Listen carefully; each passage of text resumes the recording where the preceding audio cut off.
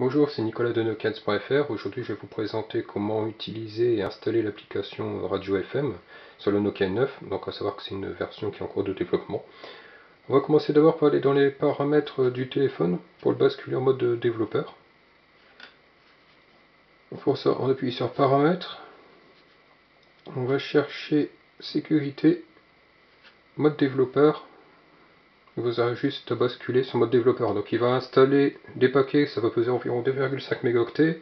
L'appareil va redémarrer. Suite à ça, une fois que l'appareil a redémarré, vous aurez des nouvelles icônes comme le SDK Connect, le terminal.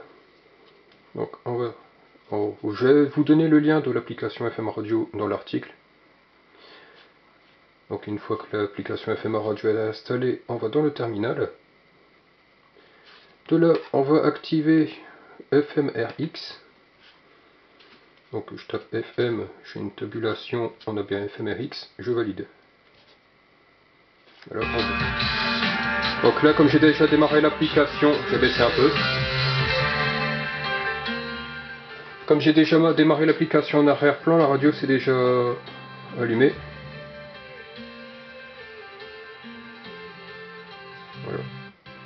On va retravailler. L'application donc très simple à utiliser. Par exemple la fréquence 101.3 pour avoir énergie. Je remets sur on. On a la radio. Je baisser le son, monter le son, mettre en multitâche, continuer.